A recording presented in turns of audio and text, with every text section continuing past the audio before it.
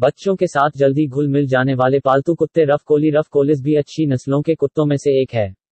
इस नस्ल के कुत्ते उन लोगों के प्रति बेहद दयालु और स्नेही होते हैं, जिन्हें वे पसंद करते हैं।